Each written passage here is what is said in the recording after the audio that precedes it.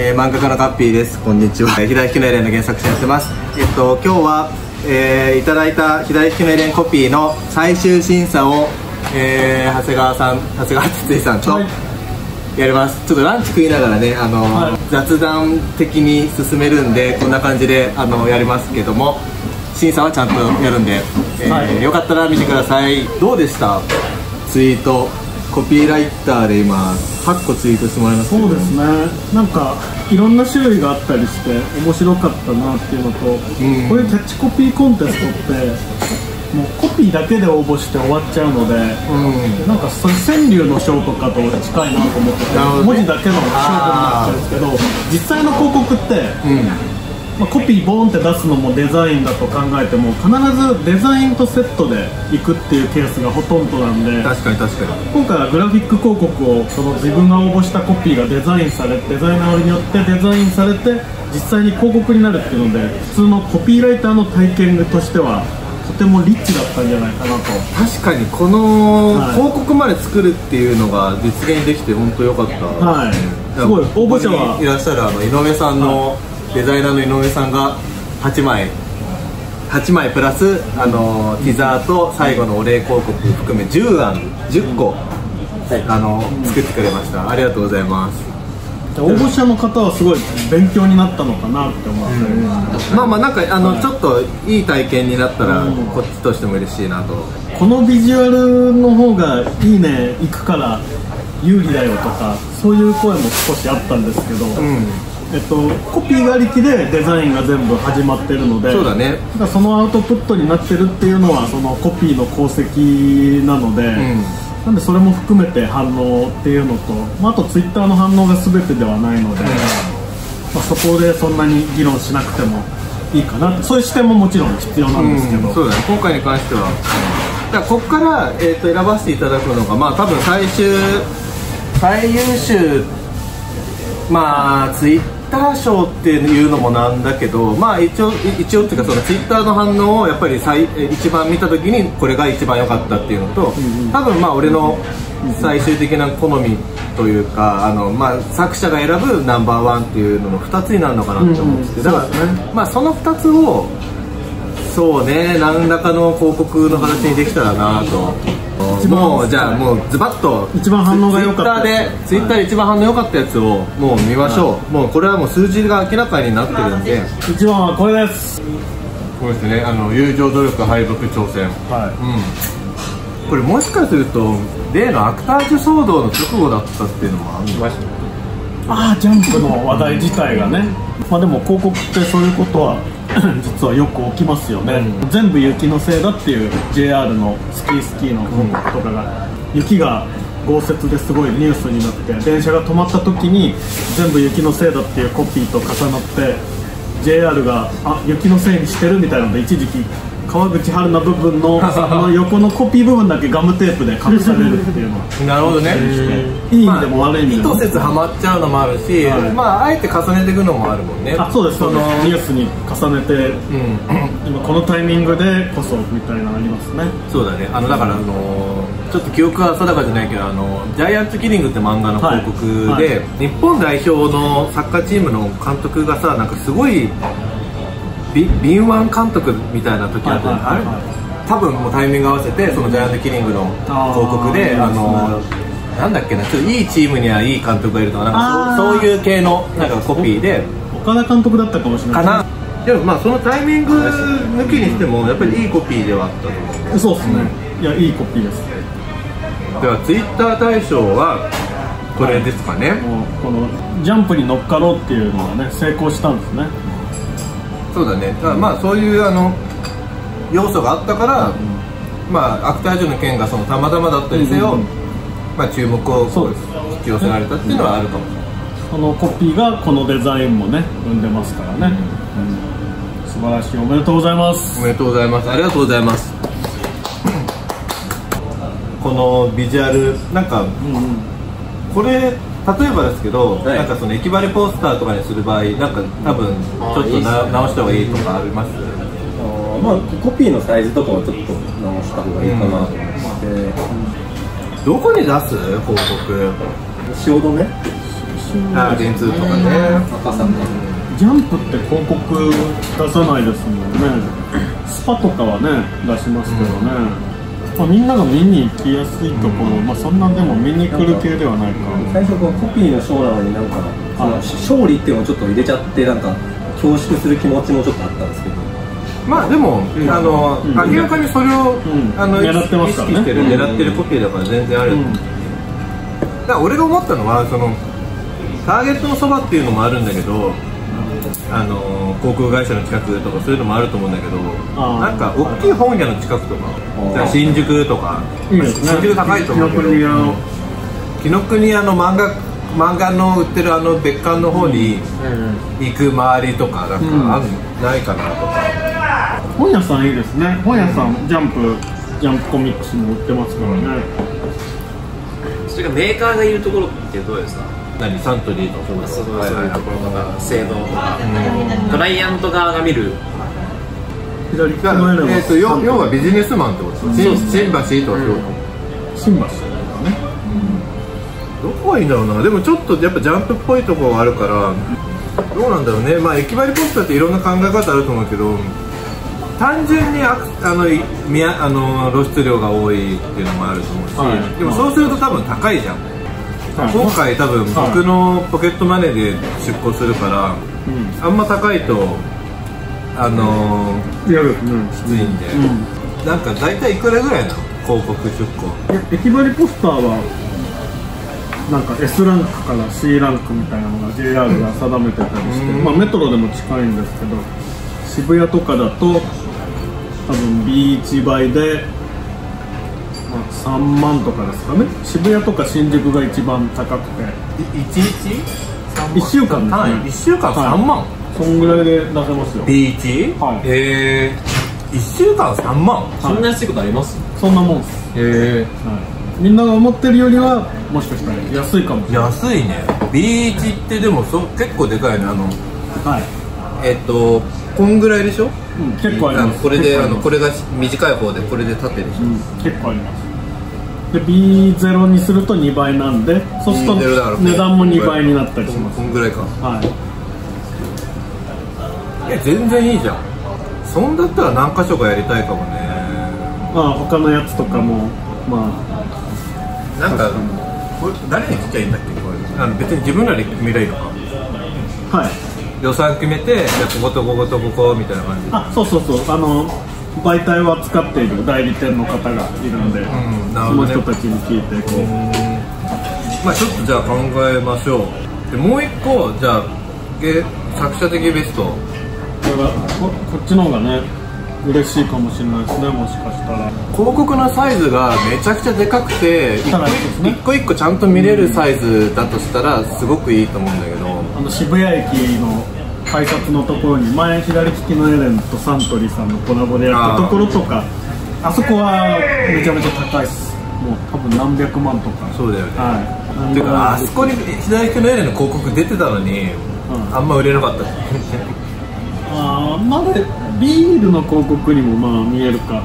あでもそんな違う2段階やったのよ。だから 2, 2個あったのよ。あ最初あれかあの広告出します的なね、面白いやつねもうちょっと本出したらよかったな。なんかあのすごい上品ぶって世界観大事にしてあのすごいあの、まあ。シュッとしちゃったんだけど。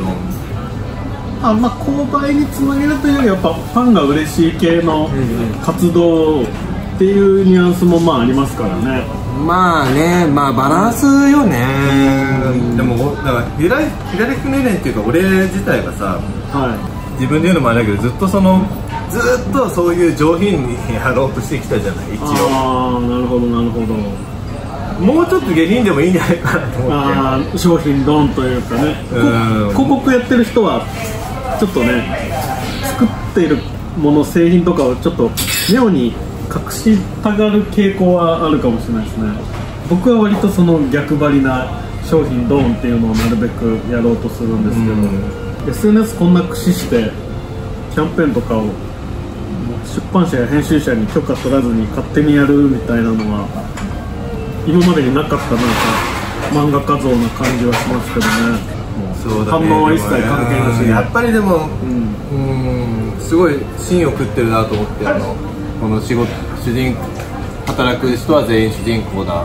左利きのエレン知らない人も嬉しい言葉ですよねまあちょっとビジュアルもこれも相談かな。そうっすよね。これも実際これこの画像でいいのか問題はあると思う。新橋の人は嬉しいですよね。これ言われたら、でもさなんかシンプルに広告のビジュアルでさ漫画のコマって1個あるよ。あもう漫画のコマ自体がキャッチーですからね。そうそうそうあのそのコマの内容以前に漫画のコマがポスターにあると見ちゃうじゃん、いいですね。それは結構広告として強いかもしれない、うん。だから要はあの、例えばね働く人は全員主人公だっていうのを受けのコピーにして、うんえっと、何連か作ってその名シーンを入れるとかだからクソみたいな日にいいもの作るのがプロだっていうコマの下に、うん。働く人は全員主人公で平井彦根連とか。そういうのもいいですね、それでなんかあのまあちょっとちょっと視線が止まるぐらいの数、何個ぐらいだろう。あの A A1 縦、6連とか例えばさ。そういうのはありかな、まあ、ちょっと漫画のコマの選定がむずいかもなその。クソみたいな日にいいものあれが一番でもも有名なやつですよね、ファンがね。でもなんかさそのコマだけ抜け出すとちょっと暴力的な意味になるありえるじゃんちょっとパワハラを助長してる。それはちょっと本意ではないですね。なんかその辺はちょっと考慮しつつそれで哲司さん一緒にできる？一緒に作れる？そういうの。はい。やってくれる？やってくれる？あのデザイナーなのデザイナー。あのタスクとしては多分デザイナーが重いので、まあね。僕は特にそんなにすることは確かに働く人は全員主人公では受けとして使うのもいいですね、まああるいはその働く人は全員主人公だ、で受けであのー大人のための少年漫画でまあそれもいいですね。で受けるとか、でビジュアルでそのえっとあービジネスマンが主人公なんだとか、あのクリエイター商業クリエイターが主人公なんだっていうのが、ビジュアルでそこで分かれば多分つながるかなっていうの確かにスーツ着てる人とスーツじゃない人とかをねね混ぜたいっていう気分ありますね、でも何にせよやっぱりその、まあ、ある種このコピーってさその働く人参加じゃない、働く人ってみんな素晴らしいよねっていう応援メッセージだから結構あんまり嫌がられないというかキャッチコピーとしてすごいスッと入ってきてくれる気はするんで。タウンワークとかめちゃめちゃ多分値段は高いですけどタウンあーワークの裏表紙にこれあってもねなるほど。いいですよね。なるほど。タウンワークの裏表紙多分めちゃくちゃ高いと思うんですけど今多分タウンワーク自体が薄くなってるんで、あとなんかうまい具合にリクルートさんと折り合いがつけばなるほどね、俺逆にさ、はい。逆にはい。逆にじゃないけどあの本誌ジャンプ本誌に広告出すのっていくらですかって聞いたのよ試しに。はいはいバカみたいな値段だった。1000万円 あの年契らしいのよ。年間契約らしいのだからもうちょっとあの考えられないけどなんか意外とここあるよなって媒体ないかな。うーん働く、まあ、ハローワークの中にこれとか、まあちょっとあんまりハローワークまは、あちょっとそうだねでもさっきなんかツイッターでさなんか、はい。左利きのエレンをもっと売るにはどうしたらいいかみたいなのをツイッターでちょっと意見もらってみたそれで意外となんかあそうかもと思ったのがビジネスマン読んでるっていう印象だったんだけど、ん。ビジネスマンの中でも意識高い系の人が読んでて、うん。でもうちょっと、うえっとそうじゃない人たち、あのー職業柄もそうだし意識的な意味でも、もっともっとその等身大のサラリーマンの人にまだまだ広まってないんじゃまあなんかサラリーマン金太郎や半沢直樹を見るような人。そうそうそうそう。なんかその、まだまだねサラリーマンに受けてるって言いつつごく一部なのかもしれないなと思って。だからそういう意味だとまだなんか媒体でなんかありえんな、新橋にいるホームレスの段ボールに貼らせてもらうみたいな。ちょっと違いますね。なんだろうね。哲井さんのアイデアさギリギリなのが多い マジかよみたいな。ギリアウトだと思いますよ。ギリアウト。ギリギリアウトなんですねいやビッグイビッグイシューに出向とかの方がまだあるいいですね。ビッグイシュービッグイシューの広告っていくらぐらいなんだろうね。ジャンプよりは絶対絶対安い。ですけどね。ジャンプよりはジャンプより高くてたまるかって。雑誌系はやっぱ高いよね。そうですね。 CanCam とかね500万ぐらいでしたっけ？200万。結構高いですよね。あのそう一般の人は多分わかんないと思うけど雑誌の広告ってクソ高いんですよ、雑行ってね呼ばれる雑行ね、うん、いやーちょっと手が出ないよね。意外あの駅張りの方が安いっていうのがいい。まああの比べたら安いな思思ったけどこんだけ差があるっていうのは意外。雑誌はもうこれ意識として読み物として読むんでやっぱり強いのかな。そうだね。なんかメトロや JR の2020何年かの、まあ、新卒募集とかでちょっと絵を描き下ろしてもらって働く人は全員主人公だとかね。コラボ求人プラスエレンちょっとよくわかんない企画になっちゃいました。働く人は全員主人公だっていうキャッチコピーをあフリーに。もう開放しちゃうああ面白いですね。それはいいっすね。これこの投稿者の人に許可もらわないといけないけど。そうですね。このこのキャッチコピーは誰でも使っていいです。ってしちゃうもう日本日本というかもう世界の会社員のキャッチコピー。サラリーマンの。あでもそれいいな。あの駅張り広告とかはまた別にやるにしてもやるにしてもはい。面白いですね。働く人は全員主人公だっつって何パターンかさ高一の写真あのイラストとかルカワの写真とか何パターンかだからアバターみたいな感じで、うんうんうんえーと高一バージョンルカワバージョンエレンバージョンでなんかあのーそこにえー、と企業名追加してもいいし、うん。なんか別にもう好きに使っていいっていいですね。フリー素材化しちゃう。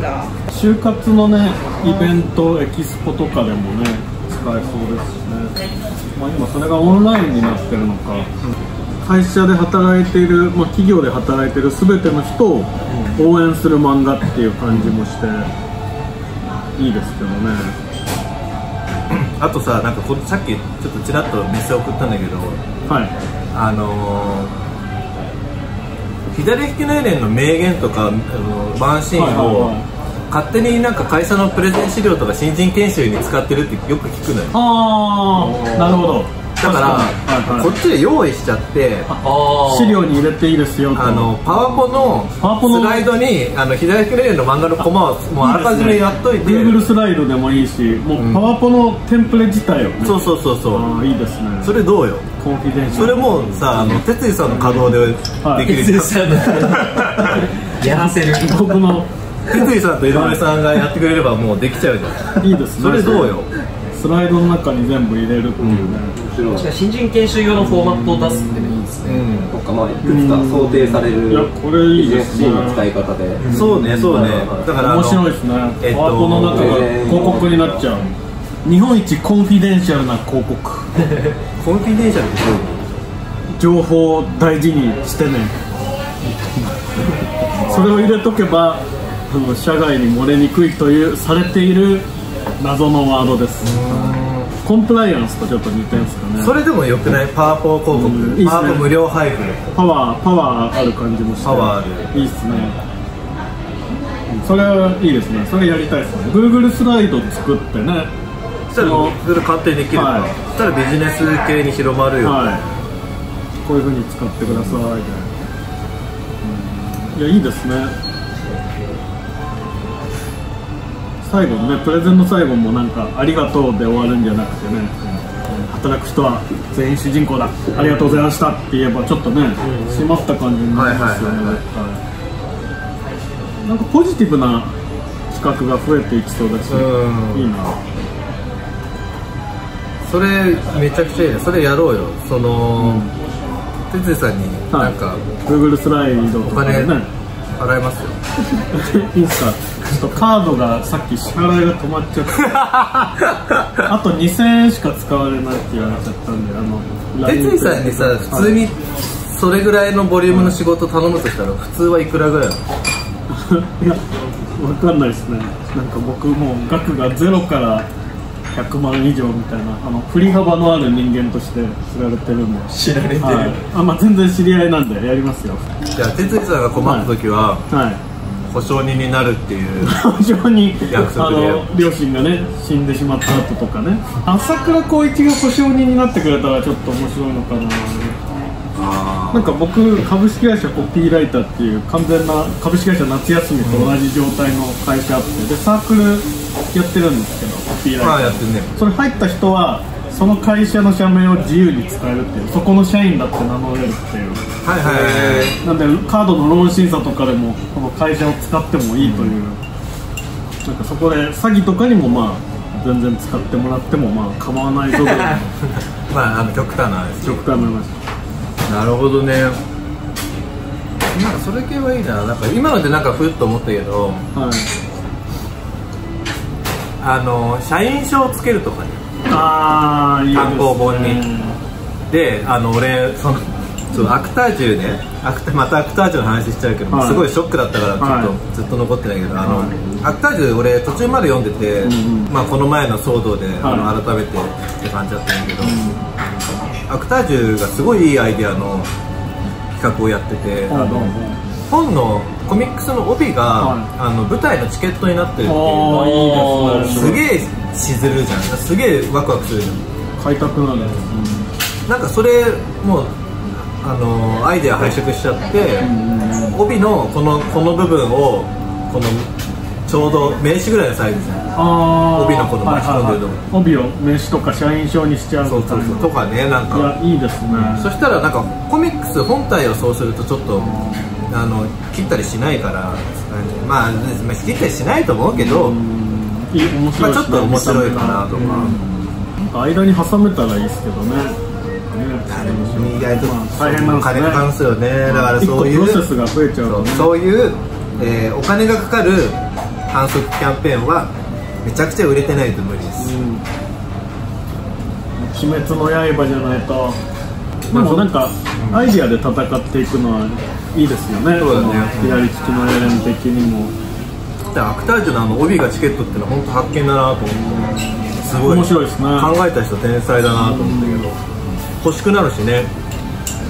前あの職業訓練校みたいなところにハローワークとかにそういうのもあんないあの教育プログラムあのニートの人向けののでニート卒業証書っていうフライヤーを卒業証書っぽくするっていうの、それ面白いあのボツりましたけど。映りましたけどなんか症状が街にあのハローワークの中に置いてあったら面白いなと。思ってなんかまあそうだね。帯帯そういう使い方いいですね、今のパワポのやつは結構良くない？はいまあやりましょう、なんかさそのさっき言ってたそのブラックジャックによろしくとかで漫画自体の無料、えーあの IP 開放まああのちょっと部分的だろうけど、あの IP 開放とかのうんうん企画で一回それでまああのん一個バズったじゃん過去に、うん。そういうのが、えー話題になったりしたけど、全部開放するとかじゃなくてそのこのね。このパワポで使い道をこう提示して、うん。ターゲットに配布していくっていうのは結構面白いなと思って。うん。確かに。パワポ広告はいいんじゃない？発見じゃない、ちょっと、いいですね。さっきなんか急に思いついて哲司さんにメッセージ送ったら哲司さん寝てたっていう。ちょっとそれやりましょうじゃん。素晴らしいなんかみたいな感じであのーアイデア思いついたら教えてください。そうですね。あのツイッターはあツイッターじゃない YouTube はなんかなんかなんか怖いからコメントオフにしてんだけど。な別に そう変ななんか別にはい。深い理由ないけど、はいはいは YouTube はなんか怖い人がたくさんいるイメージだから コメントオフにしてるけど、まあ、Twitter とかで気軽になんかあのこんなん思いつきましたっつって、うんうんあの言ってください、はい。まあ、てな感じでじゃあちょっと今回そのキャッチコピーの審査っていう動画でしたけど、えーさっき言った2つをなんとか、まあ、あれをそのままなんかこのじゃあこれをそのままポスターにっていうのよりはもう一歩踏み込んで広告としてうん。完成させたいね、うん。うんだからちょっといい流れで、うん。あのまた引き続きお二人にはあの力を貸していただきますけども、ちょっとハヤトにはねまた別のあの平井ひねれん関連でまたお世話になります。ずずっとお寿司食べてました お寿司食べてくださいお寿司食べてくださいどうぞ。はい、っていう感じで、まあ、引き続きあのどうしたらエレンがもっと広まるかっていうのを僕ら考えるので皆さんも何か思いついたらぜひ教えてくださいっていうか本を買って買ってほしいですね 本を買ってくださいでまあ一番の広告は皆さんがこれをこの動画を見てるということは相当エレンが好きだと思うので、うんえーお友達ご家族、ね、うん。自分が広告できますからね。そう、ん。広めてください、よろしくお願いします。もう皆さんが一番の広告塔なので。はい。てな感じで、はい。えーチャンネル登録グッドボタンよろしくお願いしますえーそれでは引き続き左利きのエレンをよろしくお願いします。ありがとうございました。